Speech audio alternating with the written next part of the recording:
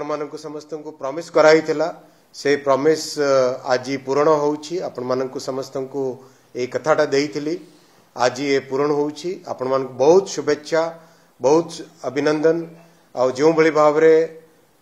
प्रधानमंत्री श्री नरेंद्र मोदी जी